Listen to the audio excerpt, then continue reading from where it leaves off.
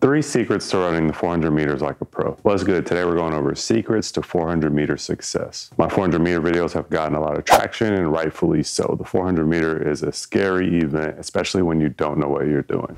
But don't worry, after watching this video, you're not only gonna know how to run the 400 meter like a pro, but you're gonna know how to train for the 400 meters like a pro. And make sure you stay all the way to the end because missing one part could be the reason why you don't succeed. Okay, let's get started. We had a 400 meter strategy video that did really well. It helped a lot of people right? So just briefly to go over the strategy, we're at about 90% for 90 meters.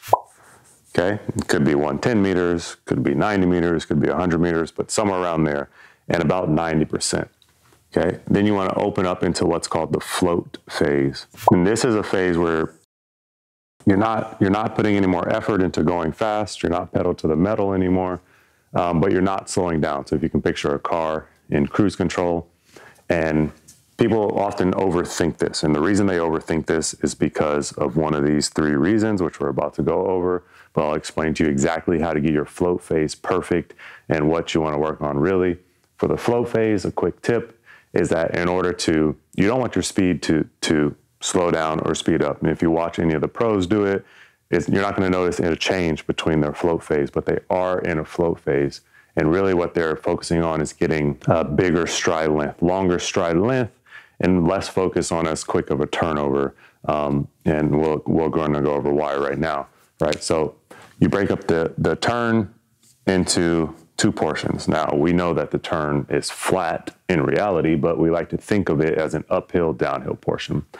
So what I said in my other 400 meter strategy video is that this is uphill, all right? So you pretend like you're running uphill, like you have a sled behind you, like you um, have a tire behind you, you're doing tire pulls or something of that nature, that's what the back stretch is like. Because right about here is where you're going to start to think, oh crap, I'm only 200 meters done. Happens to a lot of people. Don't worry about it.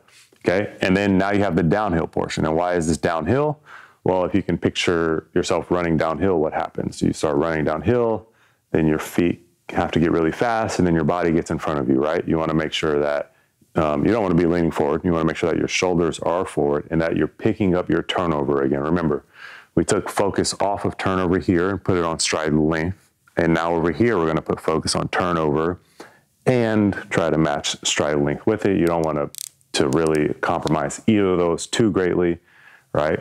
And just, I'm going to reiterate this float phase is not a slowing down phase. And if you have confusion about that, just watch the professionals. They do it really well. You can't really see a difference. Um, and so we're here, we come downhill, and now we're focused on, right, picking up our, our feet. Don't let our, don't let the monkey on our back, don't let it, right? Now is where the lactic acid begins to build. And again, we're, we're briefly going to go over how to defeat this. Everyone's going to have be tired. Everyone's going to feel that that lactic acid right here. It's just a matter of how you deal with it, how your body processes it based on how you train. So again, we're about to go over that too, but so here we're focused on a lot of turnover and getting up big and using our arms, right? Our arms play less of a role here. We're just kind of floating. And here we're, we're our arms come back into play a lot, right? We're, we're never here. We don't want to be up here again. We want to be swinging through naturally. But then when we come back through this way, now we're really digging into the arms, taking us home, right? So that we can finish. And then I told you here is where we become a, a we'll say a drummer boy. My coach would say, um, beat the drums, right? Beating the drums means if you have a drummer boy that does this, you want to be really getting those arms moving, don't compromise turnover because what you're going to see is a lot of people start to look like they're running through mud. We don't want to get in the mud phase. We want to just power all the way through to the finish. Now, again, I know that this is easier on a whiteboard than in reality. Um, and a lot of that has to do with the way that we train. Moving into, I'm kind of bridging two videos that performed well together. Um, we have this kind of training pyramid that I think people had confusion with. Um, but don't worry, we will clarify some things. So preseason, all right, I'm sure, you know, I'm not sure when you're watching this video, if you're in season, these are just concepts to kind of grasp. Um, but preseason, you want to be doing no more than 2400 meter volume, no more than 2400 meter volume. I had a comment say like, are you crazy? 600 meter volume is enough. That's one of those get fast, quick schemes to say that 600 meter worth of training um, is enough at the right time during the right season. Sure, 600 meters will, will help get you into your prime state. Um, and by, by 600 meters, you could think about like two times 300 or uh, three times 200, something that you want really high quality. When you're, when you're doing stuff like that, you want super high quality and you want a good amount of rest so that you can keep them high quality. But um, yeah, that's one of those get fast, quick. It, it, honestly, it makes no sense, but um, I just wanted to address that really fast. So preseason, you don't want any more than 2,400 meters. In season, you don't want to be sprinting any more than 1,500 meters. And this is not all at once. These are, these are broken up into sets, right? I gave examples in the, in the other video, which I'll link to below. And then in peak season, you don't want to be sprinting any more than um, um, a thousand-ish meters. These are just guidelines. They're not they're not rules. You're going to have coaches that work different systems uh, uh, as far as different distances, but that's about where they should be. Um, and then again, I have the rest on this side. So preseason, you're going to you know four to six minutes rest. You're kind of working some oxygen deprivation training, learning how to be able to handle this part of our run right? That's where this this comes in. And then in season, six to eight minutes training because our quality has gone up um, significantly. The quantity has has gone down significantly. So you want to add a little bit more rest, but we're still, you know, not allowing full recovery here. Um, again, focused on this portion of the race. Well, really this portion of the race. And then peak season, you want to start focusing on. Um, I said in my other video too. This is where foot speed matters. Foot speed. So I've talked about how the 800 meter is not good training for the 400 meter, which which we can address um, in a second as well. But right here is where foot speed matters, and this is where um, well, really, when you're when you're in season, you'll you'll be working foot speed because the quality of our workouts has gone up. But but definitely in peak season, this is where this um, comes back to play a big role. So that's about the the training that you should be doing. And remember, like you can't be scared to hurt right? And people that think that, um, oh, like I can get just super high quality um, and 600 meters worth of work, uh, they're just scared to hurt at the end of the day. Um, and just imagine if I had you in a track meet and you ran the 400 and the 200, and then I asked you if you can do the 4x1 or the 4x4, that's already 700, 1,000 meters, right? So if you're training 600 meters worth of volume, um, yeah, I'm not going to labor on the point. It just was something that didn't make sense. So how do we get there? How do we how do we make this effortless run? Not effortless. It's not going to be effortless. How do we make it a run that's just progr- programmed into our body? And the answer to that is going to be all right. Practice, of course, is, is no secret there. Um, knowing how to train, right? So when when we are practicing, um, I have this quote here: "Don't think, just run." One of the one of the good comments I got was like, this is a great strategy, but at the end of the day, you should just be running. And that's true. You don't want to be thinking hard while you're running. Um, and the way that you get around that is you you you make your training program right tailored to your events. So all of these distances, they're going to be, uh, we'll say like uh, six times 300, right? Two times 250, somewhere around some some of these kind of workouts, right? eight times 150 with appropriate rest, right? I have a program for, for all of you that are interested. It's in the link, link below on how to do these properly. Um, but, but let's say I am doing a, a 300 meter workout, then maybe I want to work um, 90, 90% for 90 meters, work on my float phase uphill, and then start to get my downhill portion. Or let's say I'm doing 250s. I want to work on uh, starting here in my float, uphill, downhill, finishing strong. Or I'm working 150s. I just want to work on the finish, downhill, the acceleration. Or it could be here, right? The start into the float. That's tip number one. Whenever you do get to the meet, you don't have to think as much because you've already programmed your body into knowing how to run this properly. And I'll take it one step further. If you if you have your goal, which we went over in my program as well, if you have a goal date, right? My goal I know that my goal is, uh, we'll say, sub 50, which which one of my commenters said their goal was, and um, let's say we need to run this in May, January, February, March, April, May. And we want to work backwards from from our goal date of May, we'll just say 23rd. I don't know, I made that up.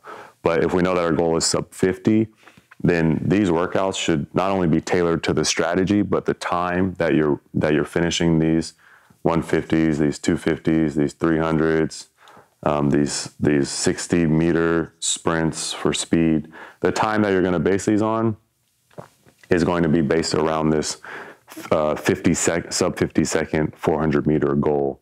Um, and and again, you can break it down further into okay, if I want to run sub 50, I know that my 200 meter probably has to be I don't know, maybe around 23 seconds or so, right? So so you break it down into smaller actionable steps in order to to reach your goal, and that's that also comes with with just practicing. So the second tip on how to run the 400 like a pro and how to have success is that you want to peak at the right time.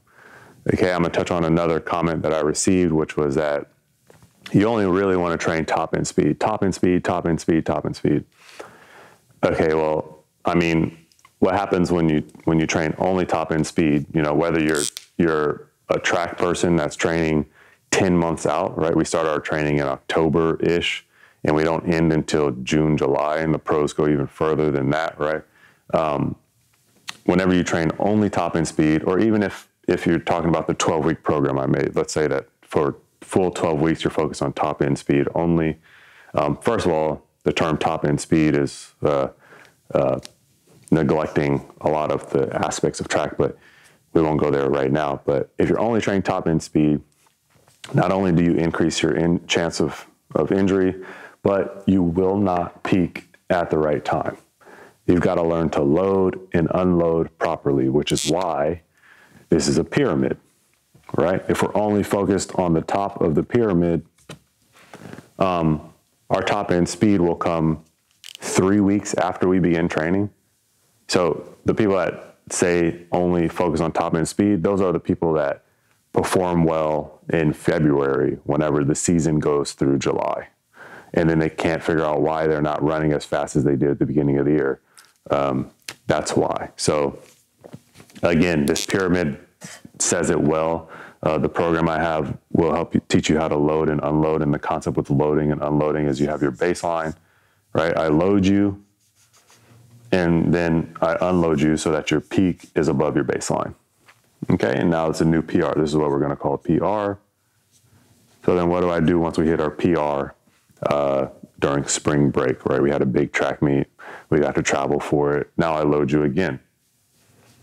Okay, and the depth of which I can load you, if I want to take you all the way down here, depends on the base of our pyramid. Right, this should make sense. I can only build as high as my foundation is. And this is our foundation. And if I want to take your loading phase all the way down here, because I want you to come back and PR up here for a new personal record at your desired date, I have to first build a good base. Otherwise, when I take you down here, this is injury. If you don't do this right, this is injury. So again, this is in my, my 12 week program that'll, that'll be in the link below. And then the last thing that I'll say that I'll probably say in every video is that if you want to be a good 400 meter runner, you have to learn how to run the 100 and the 200. They will both give you signs about where your strengths and weaknesses are. If you're very good at the four, or excuse, if you want to get better at the four, but you really suck at the 100, you know that this is your problem foot speed. I can already tell you that when you get here, you'll be strong throughout the race, and then the people with the faster foot speed will beat you. Um, and you can go vice versa. Let's say you're good at the 100, but um, you die at 70, right? I know that probably your 200 meters is suffering or your 400 meters suffering. Uh, and then we'll touch on this as one of the last points, but what about the 800? Again, I said 800 meter training is not 400 meter training. And the reason why is that you work a different energy system when you train for the 800. You just do. And it's an energy system that you do not use when you're running the 400. If you notice all of these workouts, we, we won't go anything further than a 350. Why? Because we're trying to train an energy system at a certain quality level. And so when you tap into 800 meter training, you're not going to have work the right energy systems. You're going to be able to go for long and you're going to be strong, but you will not have the right foot speed. Now, this this is not as big of a deal. Uh, the younger, so the younger you are, the least the least less big deal it is. The older you get, the more big deal it becomes. So, youth track, yeah, you're going to have people that are good at the the one, the two, the four, the eight. They're just kind of you know the, the prodigies of the sport. Um, as they get older, they're going to become more refined. In high school, you can have an 800, 400 person that's excellent at both. In college, you can have an 800 person on the 4x4 uh, relay. You can have him do the open four, but is he competing in the finals at nationals?